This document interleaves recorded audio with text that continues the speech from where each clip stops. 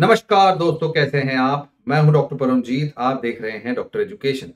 दोस्तों, दो तरीके के लोग होते हैं दुनिया में। एक वो जो अपनी एक एक्टिव लाइफस्टाइल नहीं मेंटेन कर पाते वर्क और लाइफ बैलेंस उनका अच्छा नहीं रह पाता है।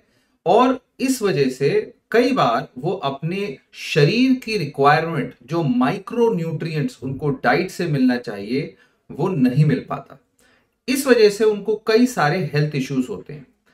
और दूसरे तरफ़ ऐसे लोग हैं जो रेगुलर एक्सरसाइज करते हैं जिम जाते हैं फिटनेस फ्रीक्स हैं और इतनी अच्छी एक्सरसाइज इतना regular fitness activity physical activity की वजह से उनकी regular multivitamin micro nutrient needs बढ़ जाती हैं डेली बेसिस पे।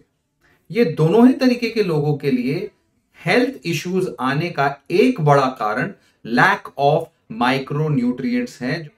उस वजह से उनको या तो कभी एनर्जी कम महसूस होती है, थकान होती है, किसी को जॉइंट पेन्स होते हैं मसल पेन्स होते हैं मसल क्रैम्प्स होते हैं माइंड फॉग आता है किसी किसी को चक्कर भी आते हैं।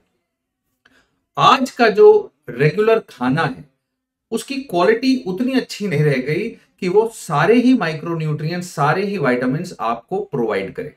और इसीलिए बहुत ज़रूरी हो जाता है कि आप रेगुलर बेसिस पे अपने टेस्ट करवाएँ और अपने बॉडी के लिए, अपने शरीर के माइक्रोन्यूट्रिएंट रिक्वायरमेंट के लिए सप्लीमेंट ऐड करें रेगुलर या डेली बेसिस पे।